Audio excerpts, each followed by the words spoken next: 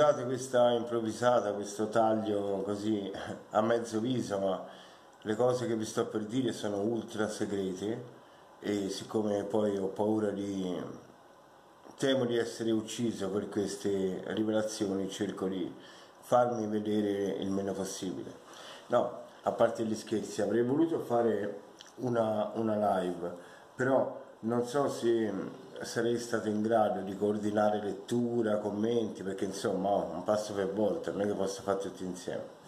E quindi ho deciso di fare questo video che per me ha poco a che vedere con la vicenda Mostro di Firenze, va bene? Però siccome mi sono imbattuto in un personaggio che parrebbe rimandare alla, alla vicenda Mostro di Firenze, siccome sono nove pagine di lettura, vado diretto a leggervi il discorso e poi approfondiamo il tutto.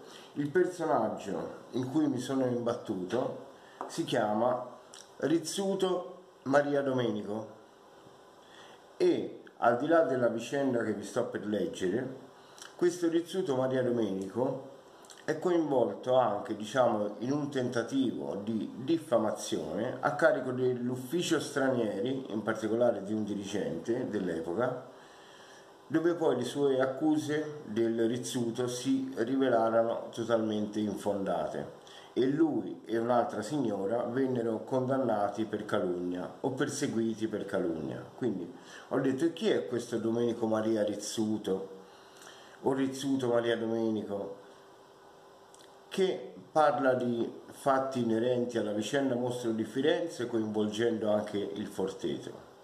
Allora, Oltre alla piccola parentesi che vi ho detto, questo signore è stato condannato anche per ehm, abuso eh, fittizio della professione, insomma, lui si spacciava per un consulente di un noto avvocato campano e firmava istanze agli stranieri truffandoli, in poche parole, cioè esercitava un potere che non aveva ed è stato condannato per questo. Quindi ho detto che personaggio è? Quello che fa questi discorsi. Quindi questo è il quadro diciamo, della, della persona e della figura. Tenete presente che questo personaggio comincerà a fare illazioni presso quell'ufficio stranieri dove doveva essere trasferito Michele Ciuttari, guarda caso, questo personaggio esce in concomitanza con il trasferimento di Ciuttari presso quell'ufficio, dove Ciuttari non metterà mai piede perché si metterà in aspettativa e iniziando diciamo, la sua battaglia, tra virgolette, contro il Ministero. Questo era un piccolo inciso. Un altro piccolo inciso è che questo signore parlerà anche del Forteto. Ora, per la vicenda Forteto, io sono d'accordissimo con quello che ebbe a dire l'avvocato Gianco Alberto Pepi, Dio l'abbia in gloria anche lui, durante una trasmissione televisiva. Disse, ritengo inammissibile, incredibile, per non dire scandaloso, che l'autorità giudiziaria possa aver continuato ad affidare minori presso questa struttura quando ben si sapeva già che i loro fondatori avessero passato dei guai piuttosto rilevanti a livello penale proprio per abusi su minori. Quindi questa è una cosa che io condivido perfettamente con l'avvocato Gianco Alberto Pepi e tendo a scindere, come dico sempre, le due questioni, Mostro di Firenze e Forteto, anche per quello che riguarda i protagonisti. Il procuratore generale Piero Toni io lo prendo in, considerazione per la vicenda Mostro di Firenze e per me lì si è comportato bene. Per la vicenda Forteto ho criticato il fatto che fosse andato pubblicamente alla presentazione di un libro con Rodolfo Fiesoli. Quella è una cosa che non ho ben gradito come cittadino, posso dirlo, così come dico che il procuratore generale Toni nel processo di appello ha fatto quello che riteneva più giusto. Però ecco, ci tenevo a soppesare anche questo punto, ma devo scindere la questione, che poi la vicenda Forteto fosse e rimanga una vicenda grave e una macchia all'interno della regione toscana, quello è fuori, è fuori discussione, va bene? Quindi, fatta questa precisazione, adesso vado a leggere le dichiarazioni di questo Rizzuto Maria Domenico. Vediamo che idea possiamo farci. Mi auguro che si senta sempre bene.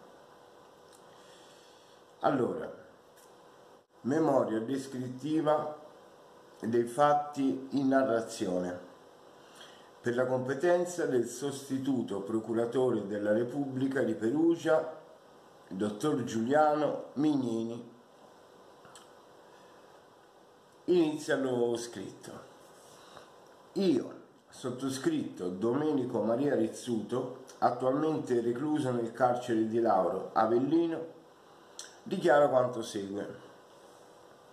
Già prima del 2001, anno in cui fondai l'associazione denominata Progetto Futura, avente come scopo quello di appoggiare le indagini difensive in forza della legge sul giusto processo, avevo collaborato con gli avvocati Bevacqua e Fioravanti per le vicende relative a Pietro Pacciani, del quale erano i difensori, essendo costui accusato di essere l'autore dei duplici delitti attribuiti al cosiddetto mostro di Firenze. Questa frase che vi dico ora è sottolineata. Dell'ingerenza massonica in tali tristi eventi me ne accorsi quasi subito, eh? Lui se ne è accorto subito. Eh.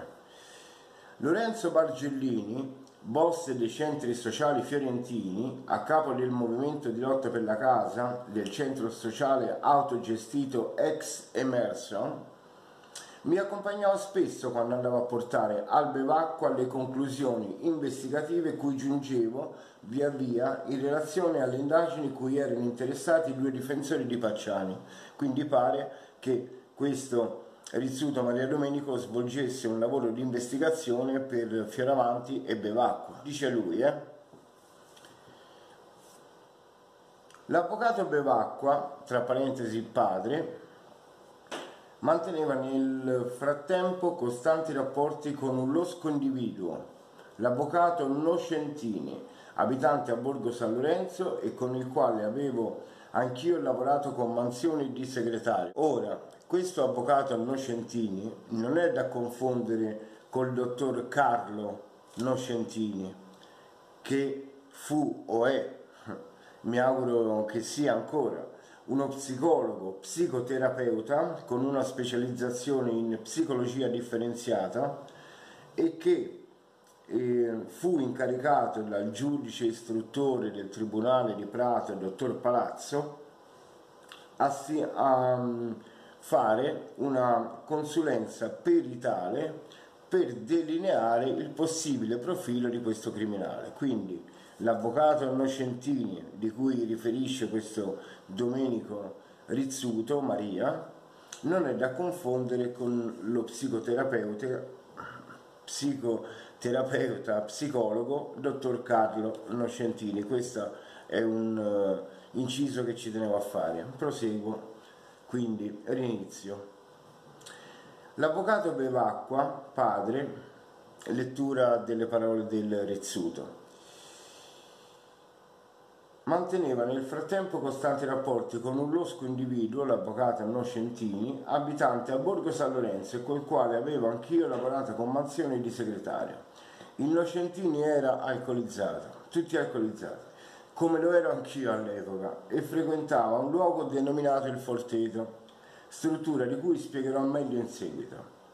Ricordo che il Nocentini, presentandomi a Bevacqua, gli raccontò delle mie capacità investigative, ma soprattutto dell'esperienza che avevo in materia di sette sataniche, essendomi imbattuto in passato in un'indagine di tal genere a Bergamo. Anche il figlio dell'avvocato Bevacqua, Massimo, mi chiese di collaborare con lui. Fu in quel periodo che mi accorsi, dovendomi documentare anche a riguardo del comportamento di una certa stampa, sul caso Pacciani. Notai che le notizie erano distorte e palesemente strumentali, scrivevano tutto ma anche il contrario, come se fossero al servizio di poteri occulti che in seguito riconobbi nella massoneria. Quindi l'alcolizzato Domenico Maria Rizzuto, non magari in preda ai suoi deliri, vabbè, lui li riconosce nella massoneria. Ma andiamo avanti, ho appena cominciato. Colui che sembrava l'esperto sul mostro era Mario Spezzi, il quale, pur non essendo il direttore de del giornale, determinava la linea del giornale e anche molta soggezione nei colleghi. Nel 2001, appena si costituì il progetto Futura, chiese il nostro aiuto tale Dorina Scozzari, la quale tramite Futsum Hamare e Futsum Barhame cittadino eritreo, scusate per la pronuncia magari, nonché socio di Progetto Futura, attualmente abitante eccetera eccetera, lavora all'Hotel Fiorentino in prossimità della stazione ferroviaria di Santa Maria Novella, vabbè, ci incaricò di effettuare indagini difensive su di un luogo situato nel Mugello, fra Bicchio e Dicomano, denominato il Forteto, cooperativa che produce latticini ed altri prodotti tipici la vicenda Forteto è una questione. Che si leghi alla vicenda Mostro di Firenze, ce ne corre. Quindi questo Forteto dei prodotti tipici, no? E dice, Dorina Scozzari, abitante in Belgio, a Thiers de Forcy, visitava periodicamente questo luogo presso cui vengono affidati dal Tribunale dei minori di Firenze bambini ed adolescenti per lo più svariate motivazioni. In questa cooperativa affluiscono anche ex tossicodipendenti, malati di mente o ritardati, in una sorta di stranissima aggregazione. Infatti tutti coloro che vi fanno riferimento sono buddisti, tutti, a regola tutti, proprio tutti. E questa un'aggregazione molto forte nella zona e che addirittura trova come sede nazionale il CAICAN di Firenze in via di Bellaggio. Il Forteto assunse ai miei occhi fin dall'inizio contorni molto inquietanti. Bisogna vedere in che termini. Per le questioni che sappiamo oggi sì, aggiungo io, e continuo. Infatti i minori non potevano essere visti da alcun estraneo, neppure dai clienti che si recavano lì semplicemente per acquistare prodotti agricoli e non si poteva vedere neanche l'edificio dove i ragazzi erano segregati. Collaboratore di Il Forteto, aperta parentesi, in cosa? Un certo Mauro Sarti della zona e capo settore dei buddisti. Mi servì di lui per infiltrarmi ad entrare all'interno della struttura, dice il Rizzuto. Rischiai veramente di essere fatto a pezzi e devo confessare di aver provato un'indegna paura lì dentro. Non posso né smentire né confermare, vero?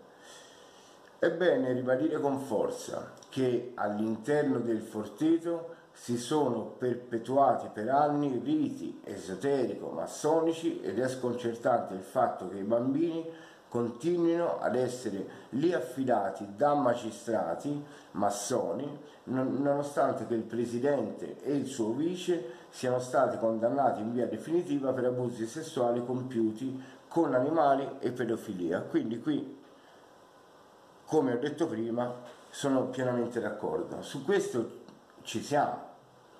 E qui prosegue il nostro investigatore privato, alcolizzato, che abusa della professione ed è stato condannato, però ciò non toglie no, che quello che dice, bene, proseguiamo.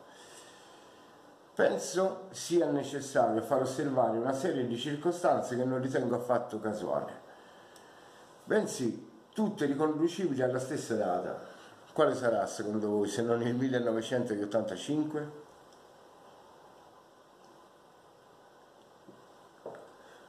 Infatti nel 1985 furono arrestati Fiesoli e Goffredo, responsabili del Forteto, ma fu ucciso anche Francesco Narducci. Ed il mostro di Firenze smise di colpire. Fino a qui non ci piove. Almeno nei, dintorni, almeno nei dintorni di Firenze e con quelle modalità. Giustamente anche lui non lo può escludere, l'investigatore. Questi eventi sono strettamente legati tra di loro. La loggia massonica in quel periodo rischiò di essere scoperta e solo apparentemente cessarono i rituali, aperta parentesi, continuando altrove, chiusa parentesi. Ma si rese comunque necessario eliminare il testimone che avrebbe potuto mettere a repentaglio la sicurezza dell'intera cupola massonica che operava all'interno del forteto, cioè Francesco Narducci doveva essere ucciso. Fino a qui nel discorso del nostro amico non fa una piega. Continua. La sua morte sembrò risolvere, sembrò risolvere ogni problema. Il pericolo si ripresentò quando noi di Progetto Futuro, essendoci spinti troppo in là, eravamo giunti a un passo dallo scoperchiare tutto. Ma tutto cosa? Si domanda lui stesso. La, la verità è che questa loggia massonica esoterica vedeva e vede ancora oggi al proprio interno tanti di quei nomi illustri da fare impallidire chiunque, gente reprensibile di giorno che si trasforma in mostri di notte. Quando si riunivano al forteto, effettuavano riti esoterici con riti di orge omosessuali, zoofile e pedofile, e forse erano interessati per questi cerimoniali a prendere i feticci delle vittime, quando il mostro uccideva e sconvolto dopo il delitto andava a rifugiarsi nel forteto. Poi magari lo facevano ritrovare ubriaco da qualche parte come se avesse passato la notte in macchina. Quindi lui sta dicendo che un assassino come quello che conosciamo noi, dopo aver ucciso, andava a rifugiarsi al forteto per confortarsi e loro gli davano conforto, lo facevano ubriacare e poi lo lasciavano stravolto in mezzo alla strada come se nulla fosse stato.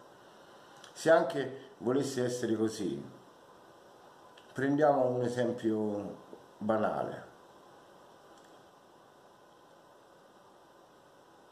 Per il duplice delitto di Calenzano,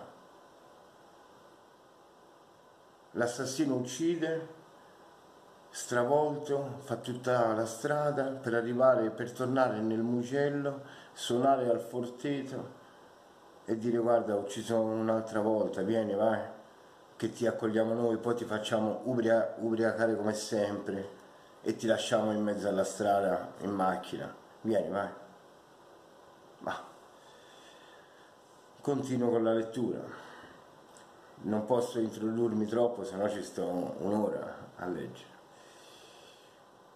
Quindi, poi magari lo facevano ritrovare ubriaco da qualche parte come se avesse passato una notte in macchina. Nelle nostre ricerche spesso chiedevamo notizie alla gente che aveva vissuto da vicino i delitti del mostro e più di una volta ci era capitato di ascoltare qualche allusione su Mario Spezzi, qualche allusione su Mario Spezzi, perché nessuno si spiegava come mai fosse sempre il primo giornalista ad arrivare sul luogo dei delitti. Anche questo sarebbe tutto da dimostrare. Comunque, all'epoca non fece caso a queste allusioni tipiche dei toscani e pensa che Spezzi fosse ammanicato con qualche fonte giudiziaria che lo avvertiva prima degli altri. Ma quando ho letto il sito della signora Carlizzi, la signora che fatto, che fece riesumare una salma, mi pare di Walter Chiari, asserendo che fosse stato assassinato, e ci è riuscita, eh? senso, non è che hanno perso tempo. Molti dubbi mi si sono chiariti, capito? In base alla signora Carlizzi. E quelle voci hanno assunto per me un significato diverso dai pettegolezzi di provincia. Ma torniamo ai comportamenti del mostro. Il fatto che il più delle volte uccidesse nei giorni prefestivi e di festa consentiva all'assassino delle coppie di trovare presso il forteto dove si rifugiava i pedofili eccellenti, i quali sostavano lì approfittando della vacanza, in modo da non insospettire nessuno, essendo quella una cooperativa agricola dove si poteva giocare a carte e bersi un buon bicchiere di vino. Che c'è di male dice se sto qui? Giustamente, no? Potrei scendere in dettagli precisi, ma allo stato attuale, trovandomi recluso, rischierei di vanificare le prove, né me la sento, senza le necessarie protezioni, di svelare l'identità delle mie fonti. Non posso far rischiare coloro che mi hanno aiutato e magari far loro subire le stesse intimidazioni che sto subendo io. Non lo escludo, eh, per amor di Dio. Chi mi conosce da molti anni sa cosa dico, ma io pago in prima persona per tutti. Devo fare anche molta attenzione a non essere ammazzato. Ora aspettate, aspettate, eh, faccio dopo le considerazioni. Anche se ritengo che l'evenienza sarebbe in questo momento un boomerang per questa gente, le prove sono ben nascoste e loro lo sanno.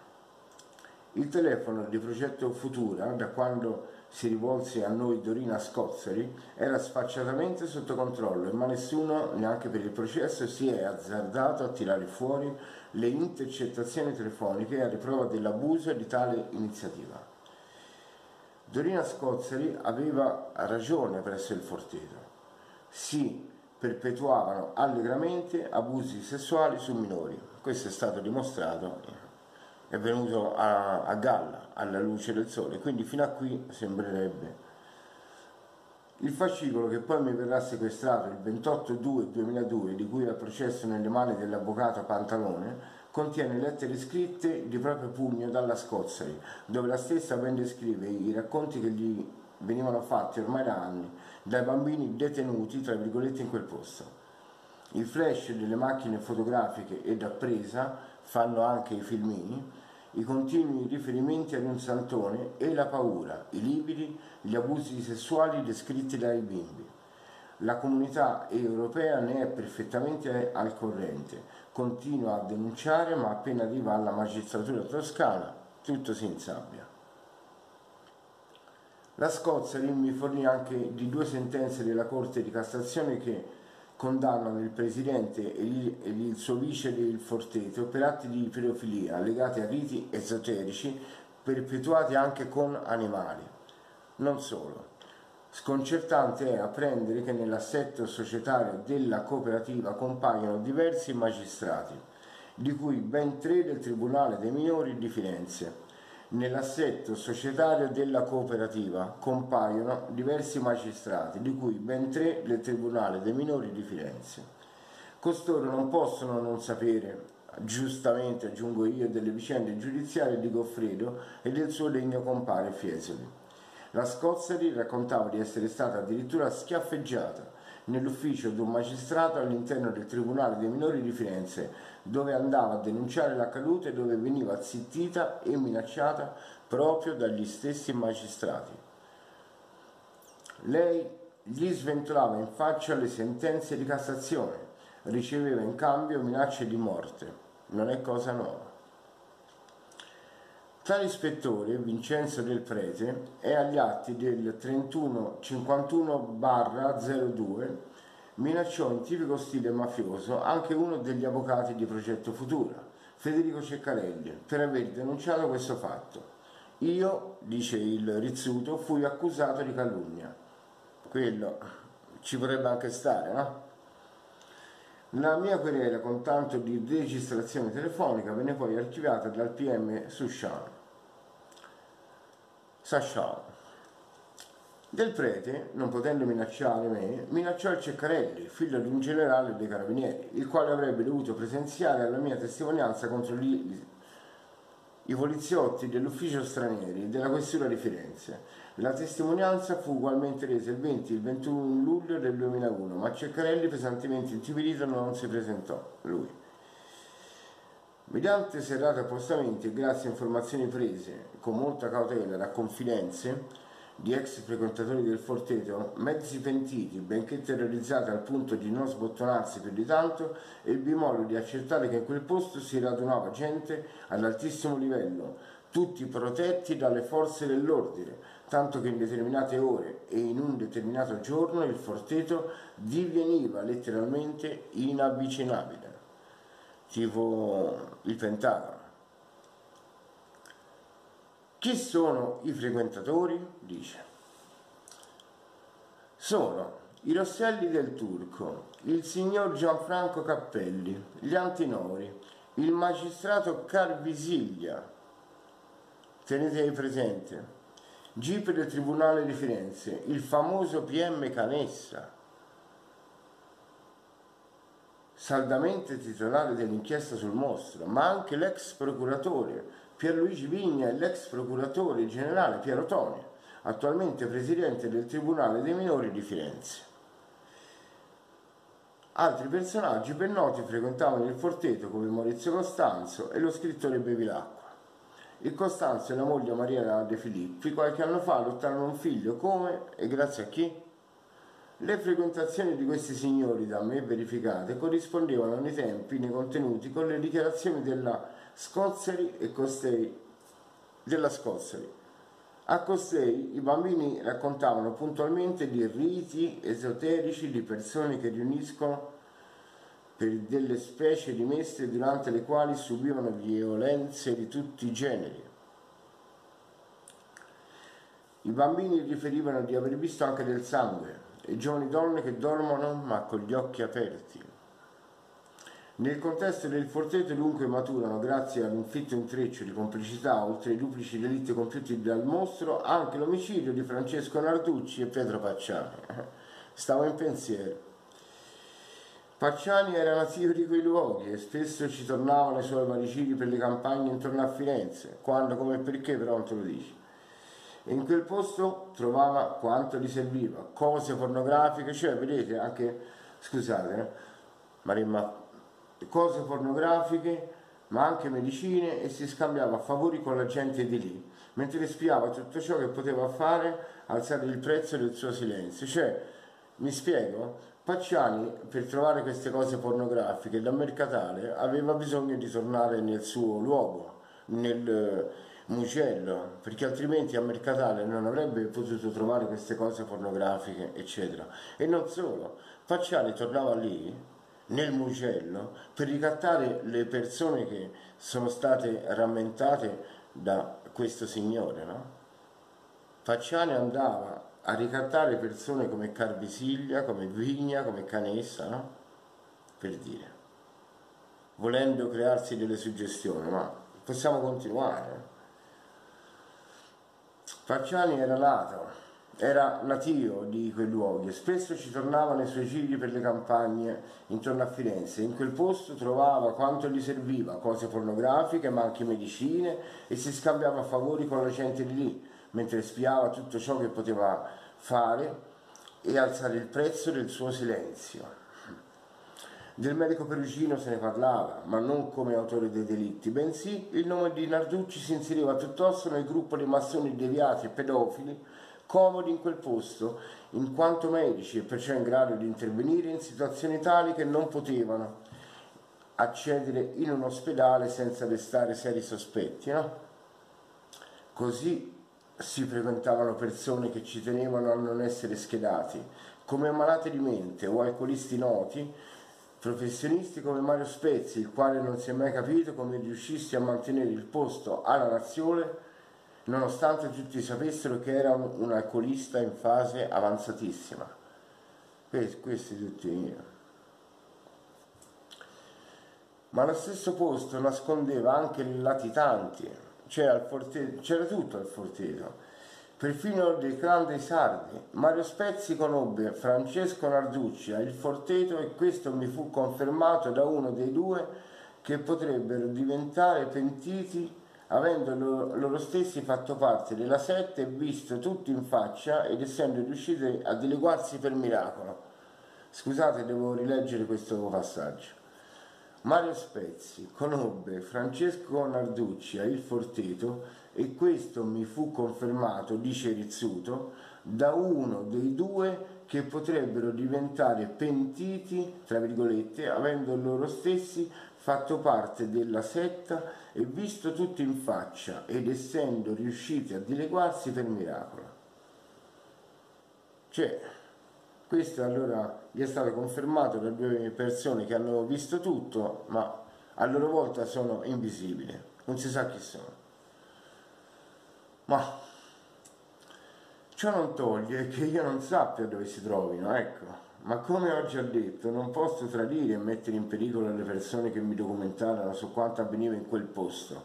Allora glielo documentavano, Vedete quanto ha scoperto lui e quanto gli hanno documentato altri? Anche qui c'è differenza. Dandomi i suggerimenti poi per verificare io stesso. Lo Stato, se è intenzionato a porre fine a questa vergognosa situazione, deve prima proteggere chi collabora con la giustizia e su questo siamo perfettamente d'accordo. Il Narducci, gastroenterologo, consigliava cure, procurava farmaci evitando così a persone come Spezzi di esporsi con ricette che avrebbero svelato la sua dipendenza dall'alcol. Ma non è vero proprio un cazzo, perché se Mario Spezzi fosse andato dal suo medico curante dicendo guarda questi, ho questo problema di alcol, il suo medico sarebbe comunque eh, tenuto a mantenere il segreto professionale non è che se ne esce dall'ufficio e va a parlare col primo che capita e dire sai oggi è venuto da me il famoso giornalista Mario Spezzi che è un alcolizzato di quelli numero uno cioè un medico non può dirlo così come non l'avrebbe potuto dire Narducci no? quindi questo vi dà molto cioè sono piccolezze che però vi danno anche un po' l'idea del personaggio eh. Il Narducci gastroenterologo eh, avrebbe lo avrebbe tenuto all'oscuro di questa sua dipendenza dall'alcol e evitando questa umiliazione per chi come me, dice Rizzuta, è stato alcolista. È molto importante. Narducci, che però frequentava quel luogo solo per orge e devianze sessuali, cioè vedete parlano sempre di morti che chiaramente non possono né smentire né confermare, quindi si può dire tutto e il contrario di tutto, no? Quindi qui Narducci, sa detta di questo psicopatico, dice luogo solo per orge e dinanze sessuali, scoprì che anche altri partecipavano invece ai rituali che ho descritto prima e cercò di capire cosa veramente fosse il forteto. Forse ancora che non l'aveva capito il Narducci, no? intelligente, medico, gastroenterologo, però allora sarebbe stato un demente che frequentava questo forteto senza aver capito bene no? che cosa si celasse in esso a regola. E anzi, mi fu detto che allertò un amico poliziotto e così venne a sapere che il mostro, di cui si sospettava era proprio Spezzi, e scoprì anche che i suoi stessi parenti, padre e fratello ginecologi, non erano estranei a questa associazione criminale. Quindi il Narducci all'interno del forteto venne a sapere che vi erano coinvolti anche suo padre e suo fratello, una spy story proprio e lui Porello, il più ingenuo di tutti, poi l'hanno ammazzato come un povero stronzo, no? fondamentalmente dovrebbe essere andata così infatti. Ora ci arriva il nostro amico qua. Quindi Narducci voleva denunciare tutto, ma aveva paura, eh, si sentiva minacciato ed era ossessionato dal fatto che avrebbero gettato i sospetti su di lui. Perché proprio su di lui? Con tutti quelli che c'erano coinvolti, proprio su di lui avendo egli stesso sentito molte voci sul proprio conto. Sul pro... Vabbè. Alla fine preferirono ammazzarlo. Mi dissero che lo avevano fatto ritrovare incaprettato per dare un avvertimento mafioso a chiunque avesse parlato, compresi che questo poteva essere vero solo quando lessi sui giornali dell'ipotesi del doppio cadavere. La riesumazione dimostrò infatti che il cadavere di Narducci non aveva acqua nei polmoni e che la morte fu causata da strangolamento Punto. E questo riguarda Narducci però, come ho sempre sottolineato. Continuo, anzi continua lui.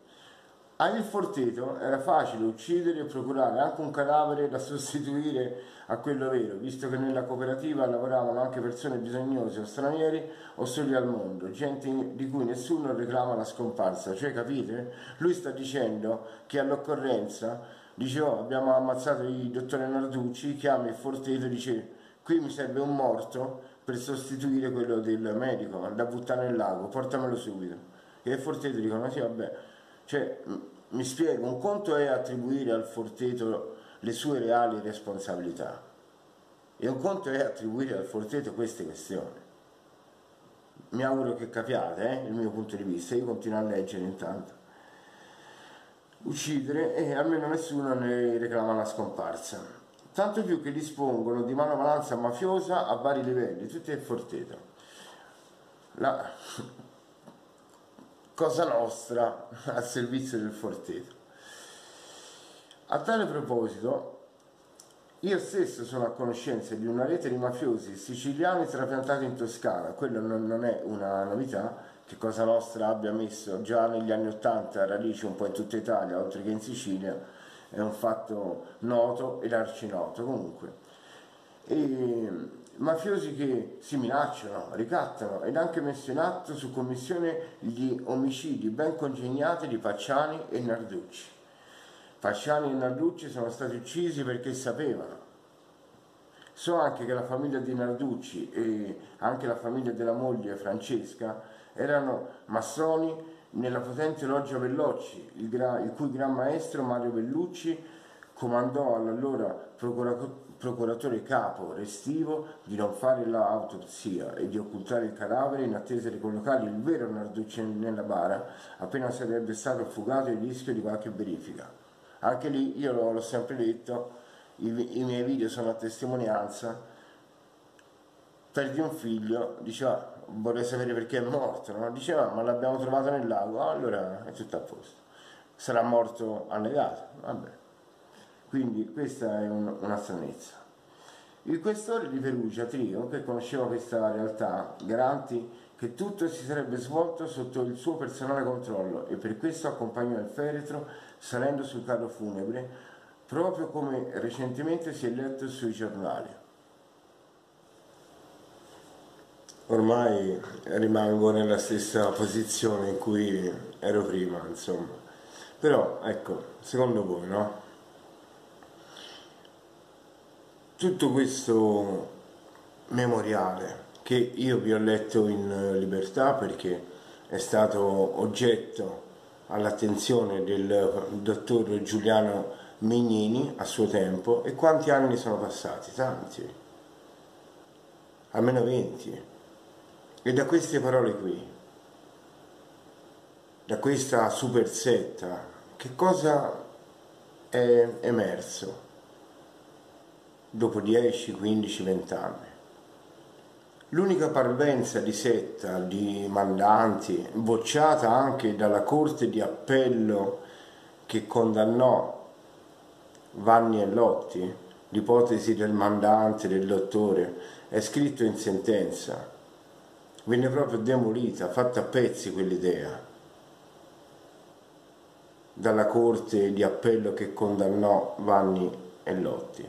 Sentenza poi confermata in Cassazione in quella sentenza veniva demolita ancora di più il discorso. Se nella prima sentenza si era parlato, nella prima sentenza a carico di Vanni e Lotti si era parlato del fantomatico dottore, nella sentenza di appello il giudizio è stato ancora più duro.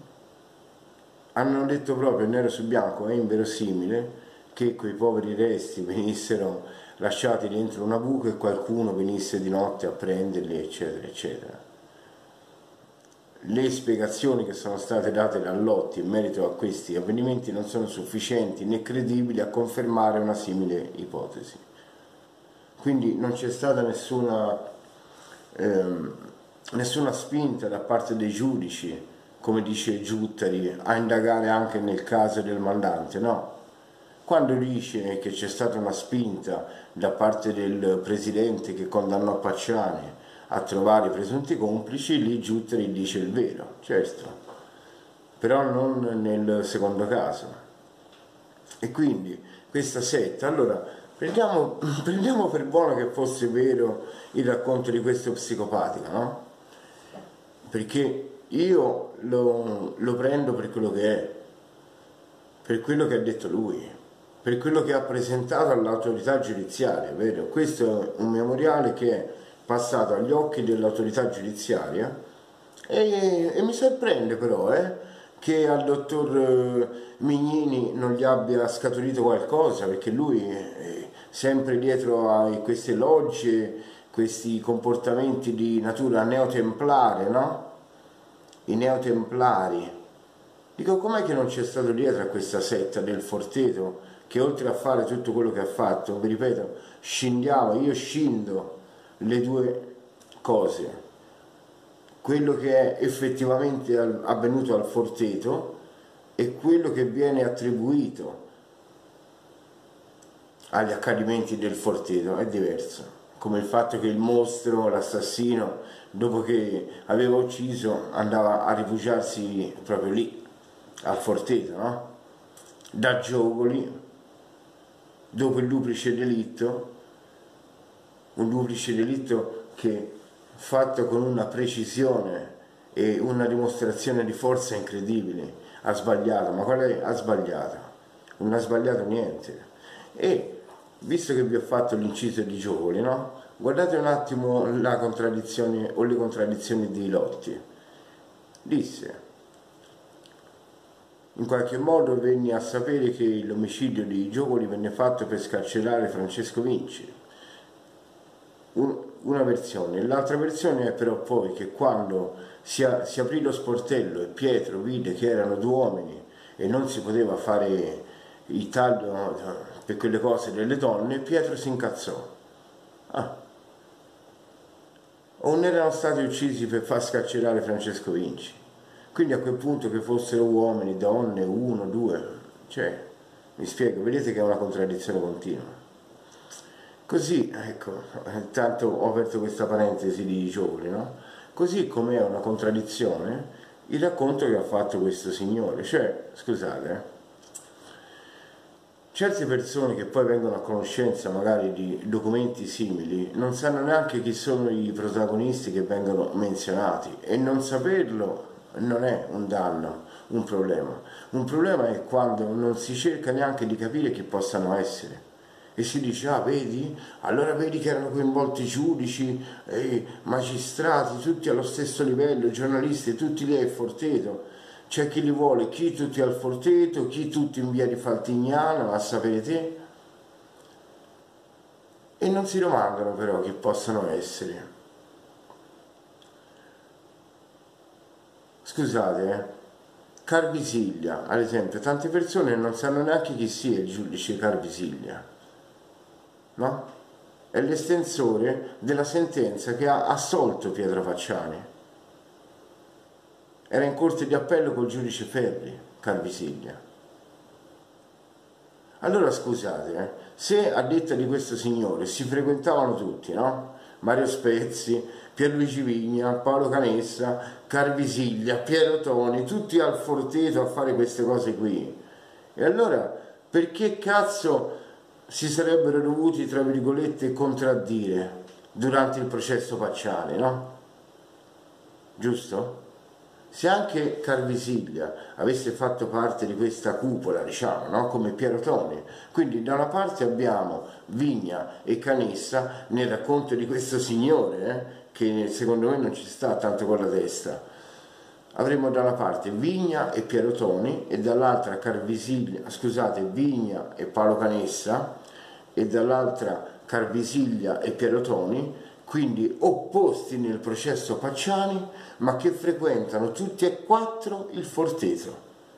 E quindi sono a conoscenza delle malefatte gli uni degli altri. E allora che cosa fanno Carvisiglia e Toni, furbi?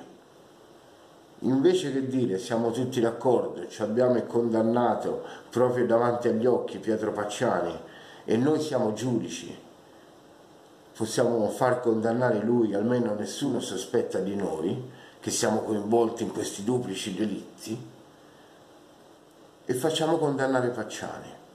Sarebbe stato perfetto, cioè se erano tutti no, in combutta dentro questo forteto, una volta che lì si presenta, cioè Vigna e Canessa gli presentano Pacciani su un piatto d'argento, diciamo, Carvisiglia e Toni, che sarebbero complici di Vigna e Canessa per il Forteto, si vedono Pacciani, dice ah, è lui quello che dovrà pagare al posto nostro, condanniamolo. Invece no, dicono no, a noi questo imputato non ci convince, lo assolviamo. Vedete la contraddizione? Poi che fanno? Si rivedono al Forteto, Vigna Canessa, scusate mi viene da ridere, Vigna Canessa, Carvisiglia e Pierotoni per discutere poi? Che Vigna e Canessa gli diranno ma che cazzo fate? Vi abbiamo portato l'imputato, che facciamo incolpare lui al posto nostro e voi ce lo assolvete? Eh no, ma scusa, cioè, ma vi rendete conto voi? Ma vi rendete conto voi o no? Ma scusate, se anche così fosse questo delirio, chi avrebbe i mezzi per poter indagare una simile cosa? Ancora non siamo riusciti a capire perché hanno portato a processo tre disperati. E una motivazione potrebbe essere anche questa, eh? Cazzo, ma per dimostrarla qui ci vuole un altro mezzo secolo. Abbiate pazienza. E se queste dichiarazioni sono già state oggetto da parte dell'autorità giudiziaria e sono passati vent'anni e le cose sono rimaste, mi pare, giustamente come dovevano rimanere, che cosa ha a che vedere tutto questo? Queste sono suggestioni, sono... E la cosa brutta è che vengono mescolate a fatti veri, perché tutto quello che è successo al Forteto, anch'io come voi mi sono documentato sulla vicenda, quelli sono fatti veri. Il fatto che chi gestiva questa struttura si è comportato in un certo modo, abbia plagiato, molti ragazzi, ragazze ne abbia abusato.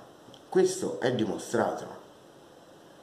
A me non va quando si va a mescolare fatti veri come questi con vicende poi tipo quella del mostro di Firenze, che allora poi vai ad inficiare anche tutti quei fatti veri che comunque riguardano quella realtà secondo me si deve fare molta attenzione a scindere e ad attribuire i giusti fatti e le giuste situazioni a, a coloro che debbono essere attribuite, senza mescolare troppe questioni. Dal mio personale punto di vista, se no diventa tutto un, un minestrone, vedete, come vi ho detto in questo video, diventa tutto un minestrone dove vale tutto, il contrario di tutto e poi non si dimostra nulla. E la base è sempre quella, sempre quella. Vedete, grandi intrecci, massoni, i medici, quello che volete che è, e poi nessuno che ti sappia dire chi ha ucciso in maniera eh, proprio fisica e scientifica sul territorio queste persone. Come? Chi? perché anche se fosse uno, diciamo, riconducibile al Forteto, che poi andava a dormire al Forteto, no? dopo aver compiuto un duplice delitto, chi, come, perché? No, ti dicono tutto il contorno, intorno al mostro, chiaramente, o al presunto assassino o, a, o agli assassini, eh, però mandanti, questioni. Eh. Ma come sono state uccise queste persone? Da chi? Non si sa. Come sempre vi ringrazio per l'attenzione e per la pazienza, poi magari faremo una live proprio su questo discorso. Ciao a tutti.